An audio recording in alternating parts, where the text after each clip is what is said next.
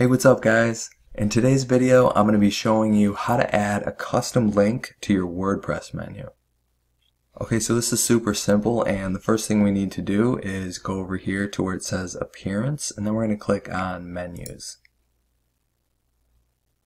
And so once we get to the menu spot right here, if you go over to the left where it says Custom Links, this is actually where you're going to add your custom link. So the first thing you got to have for this is your URL. So whatever page you want someone to visit when they click on this actual custom link, that's the URL you need to use. So for example, say I wanted to add a video section to my menu. I actually have a videos page up here that I made with some videos on it. So I'm going to take that link and I'm going to copy that. Then I'm going to bring it back over here, paste it in like that. Then this is where you're going to decide what you want your link text to say. So for me, I want it to say videos. And then all you're going to do after that is click on add to menu. Then you're going to see that pop up right here under custom link. And then you can choose where you want it positioned on your menu section. I'm actually just going to keep it here at the end.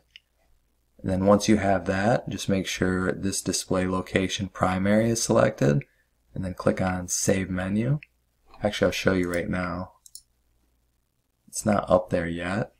And if we click on it, Save Menu, now we go back here and refresh it. We now have our videos page right here. And we're already on it already. But if I go and click on it, it will bring us back to that video page right here. And that's all you need to do to add a custom link to your WordPress menu. So hope you guys have found this video useful. Don't forget to check out my other videos on my channel all about WordPress and I'll make sure to include a video at the end of this video to show you everything you need to know about how to use WordPress. If you guys enjoyed this video, give it a like. Don't forget to add a comment down below. If you have any questions or anything like that, I'll try to get back to you right away. And until the next video, I'll see you guys then.